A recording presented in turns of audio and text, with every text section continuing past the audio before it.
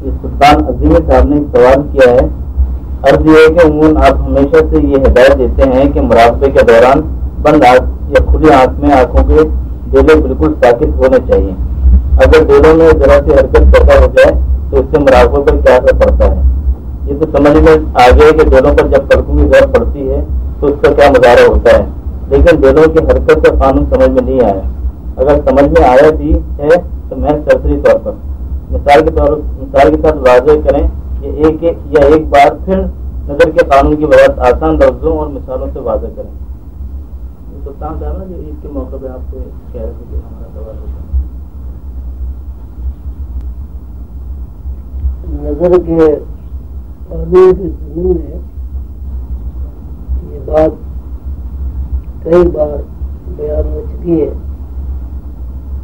कि नज़र का कानून यह है कि जब तक वो किसी अदा पर या किसी बरकत पर या किसी टारगेट पर ठहरती नहीं है उस वक्त तक कोई चीज़ नज़र नहीं आती।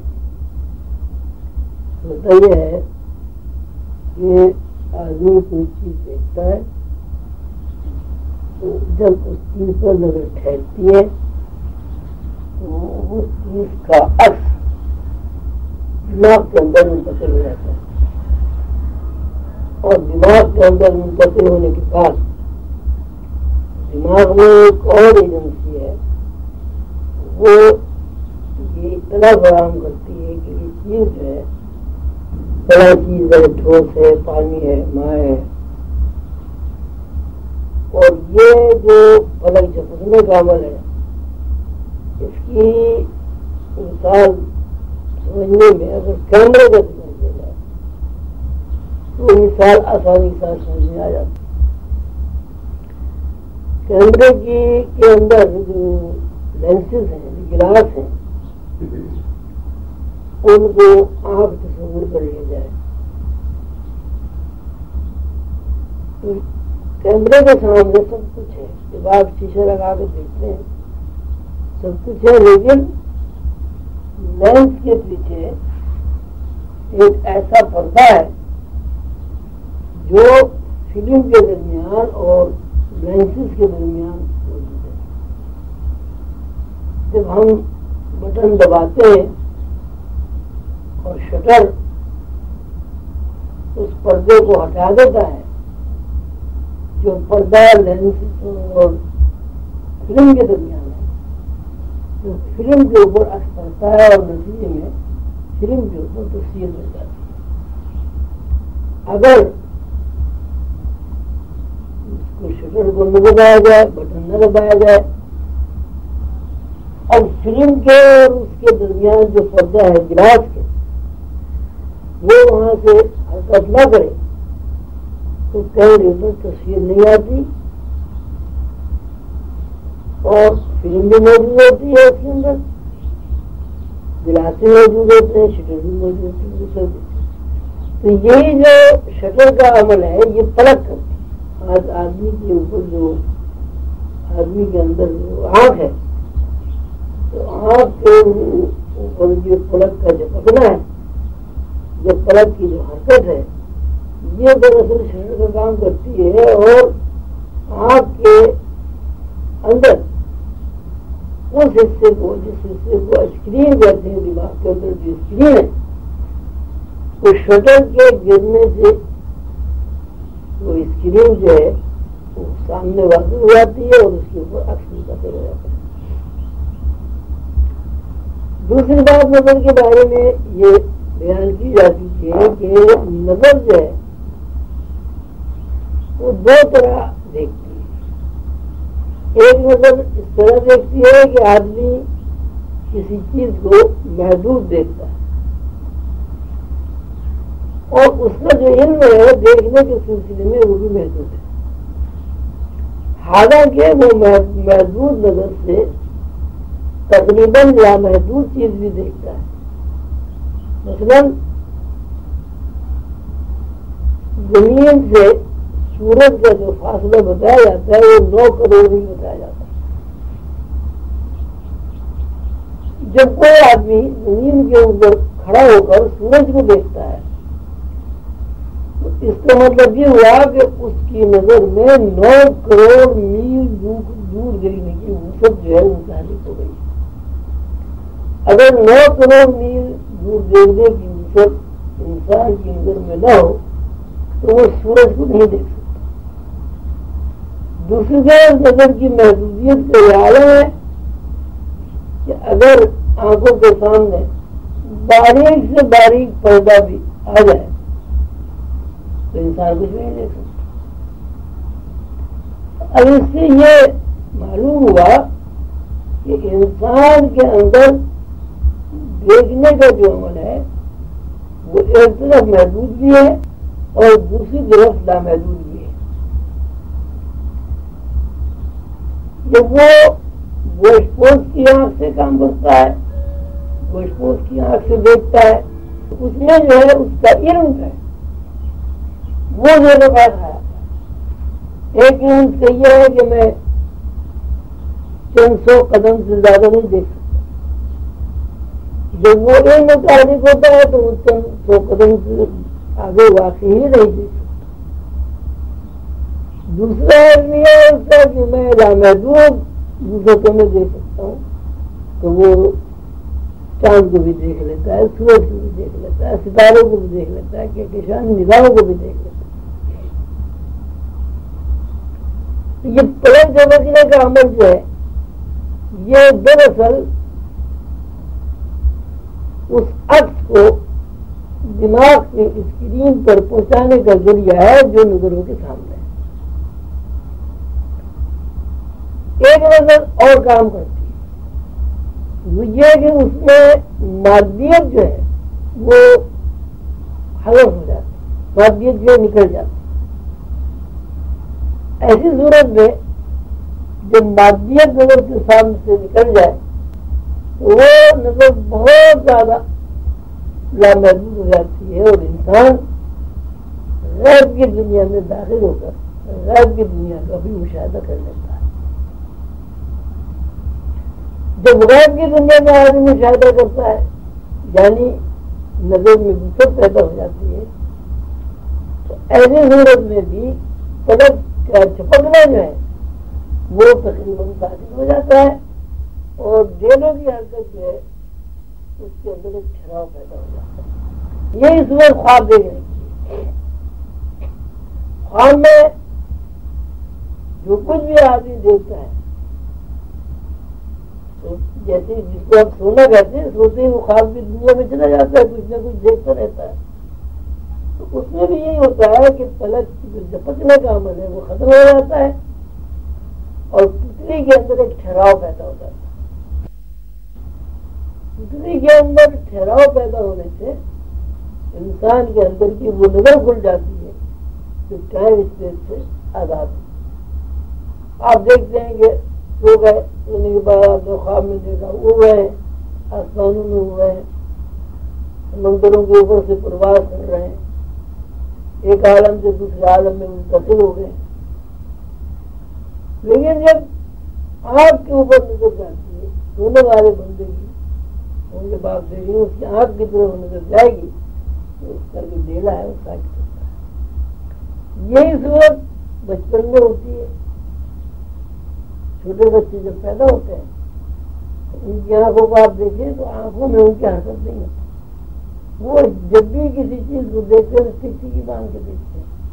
और बहुत बहुत देर तक वो देखते रहते हैं और उनकी जो है, वो नहीं झपकती। इसका तजुर्बा कभी भी किया जा सकता है। माशाल्लाह, हर घर में बच्चे होते वो भी यही बात है कि उनके अंदर जो नज़र काम कर रही होती है, वो मादी नज़र से ज़्यादा मावराई नज़र काम करती है, और वो ज़्यादातर इस मादी दुनिया से आज़ाद होकर दूसरी दुनियाओं में देखते आपने ये भी देखा होगा कि एक बच्चा, छोटा बच्चा, छह महीने का, चार महीने का लेटा हुआ है, और कहीं उसकी टिकटी की बंदी भी है।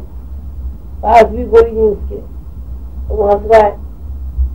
और कभी कभी तो वो इतना हंसता है कि वो खिलखिला कर हंसता है। और कभी वो एकदम चौंक जाता है और डर जाता है और रोने लगता है। हालाँकि जिस जगह वो बच्चा लेटा हुआ है, न वहाँ कोई ऐसी चीज़ है जिसे देखकर हंसा जाए और न ही वहाँ कोई ऐसी चीज़ है जिसे देखकर डरा जाए। तो इसका भी बात मतलब ये है कि बच्चे की नज़र जो है वो मावराई दुनिया में काम कर रही है। मावराई दुनिया में अगर उसे कोई चीज़ ऐसी नज़र आती है जो खुशी की है तो वह हंस पड़ता है। और अगर उसे कोई खौफनाक चीज़ नज़र आती है तो वो डर जाता है। तो कानून यही बना। ये नज़र का टारगेट जब तक नहीं बनेगा तो तब तक कोई चीज़ नज़रों के सामने नहीं आती। और नज़र का टारगेट बनने के लिए यह है कि वो वो जो हदफ है, वो जो टारगेट है, उसकी हैसियत रहती है कि उसका अर्थ जो है, जब तक पलक नहीं झपकेगी और पलक की ज़रूरत डेले के ऊपर नहीं आएगी और डेले मुताबिक नहीं होंगे, उस वक्त वो है दिमाग में नहीं होगा और आदमी कुछ नहीं देगा मुरादमे में जब आदमी बैठता है तो उस वक्त भी यही ज़रूरत होती है कि उसकी जो जहनी है वो मादी दुनिया से हटकर मावराई दुनिया में मुंतकिल हो जाती और पोजीशन ये है कि वो आदमी जागता हुआ होता है, लेकिन दरअसल उसके ऊपर जो आवाज़ है, वो ख्वाब के आवाज़ मुसलत हो जाते हैं और वो बेदारी में रहते हुए ख्वाब की आवाज़ में सफ़र करता है। और ख्वाब की आवाज़ में जब भी आदमी सफ़र करेगा या ख्वाब की आवाज़ में जो कुछ भी देखेगा उसमें ये इंसान जो है पर झपकने का और दिलों की हरकत करने का ये मौसम हो है हजूर करमदर बाबा रहमतुल्लाह ने मुराकबे की ज़मीन में ये फरमाया कि अगर पलक का झपकना खत्म हो जाए और दिलों की हरकत साकित हो जाए तो आदमी इस दुनिया से, पास दूसरी दुनिया से देखने और उसका उन्होंने तरीका भी बताया है कि रोएदार, कोई तौलिया हो या रुमाल हो, उसको आँखों पर इस तरह बाँध लिया जाए तो उसकी गरज से आँखों की पुतलियाँ जो है वो हरकत ना करें। इतनी ज़ोर से भी ना बांधे जाए कि आँखों की पुतलियों में दर्द होने लगे तो नज़र का कानून यह है कि जब तक नज़र के लिए कोई चीज़ हदफ नहीं बनेगी। तो नज़र नहीं देख सकती। और जब तक ढेरों के ऊपर पलक की ज़रूरत नहीं पड़ेगी तो तक कोई चीज़ जो है, उसका अर्थ जो है वो दिमाग के अंदर मुंतकिल नहीं होगा। ये भी एक तरीका है अगर आप मस्त के ज़रिए किसी नुस्खे को देखें चार फुट के फासले से किसी नुकते को देखें। और उस नुकते पर नज़र इस तरह जमा दें कि आप कोशिश करें कि आपकी पलक नहीं जमती वक्त लगता है, लेकिन इसमें कामयाबी बहुत जल्दी हो जाती है। तो जब पलक झपकने का अमल ताकत हो जाएगा तो देने की हरकत भी खुद ब खुद मुतर हो जाएगी। ऐसी सूरत में आपके सामने से वो बोर्ड जिसके वो काला नुकता बना हुआ है, वो भी गायब हो जाएगा, कमरा भी गायब हो जाएगा, मेज भी गायब हो जाएगी, कुर्सी भी गायब हो ये भी एक ऐसा अमल है कि जब चाहे इसका तजर्बा किया जाता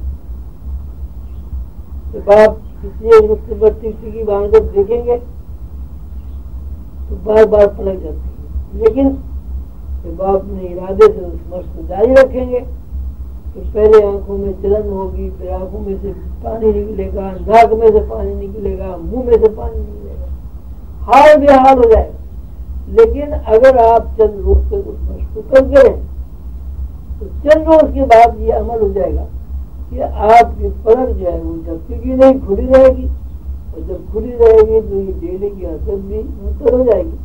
और आप जो है इस दुनियावी जो मर्ज़ी इनके अक्स की बजाय मवराय अक्स जो है आपको दिमाग में पहुँच इस अमल को पलक झिटकाए बगैर देखने के अमर इस तरह कहा गया है इस तरह के मस्त की ये तारीफ़ की है इस तरह ये है कि आदमी अंधेरे में बैठ जाए और पलक झटकाए बगैर उस अंधेरे को देखे। और इस तरह देखे कि कोई चीज़ और उसके जहन में ना हो, सिर्फ़ अंधेरा देखना साथ साथ ये कि कोशिश ये की जाए कि पलक नहीं यानी पलक के दोनों जगह पर नहीं पड़े। तो ऐसी सूरत में अंधेरा जो फिर वाकई एक रोशनी है जिसका नाम तारीखी है। वो अंधेरा जो है, वो रोशनी जो है अपनी सलाहियतों के साथ दुनिया के सामने आ जाती है और आदमी देख लेता है कि अंधेरा और तारीखी भी दरअसल एक रोशनी है। उस रोशनी का नाम तारीखी अंधेरा है। और उस रोशनी में तारीखी की रोशनी में जो दुनिया बात है, वो दुनिया भी उसके सामने आ जाती है। बात सिर्फ़ ये है कि पलक झपकने के अमल को अपने इरादे और इख्तियार से स्थापित करना है और उसके बाद देने की हरकत को साबित करना है। जैसे ही इन दोनों चीज़ों पर आपको या किसी भी रूहानी मुसाफिर को कंट्रोल हासिल हो जाता है तो उसकी नज़र जो है वो अंदर ही नज़र खुल जाती है और वो अंदर की चीज़ें देख लेगा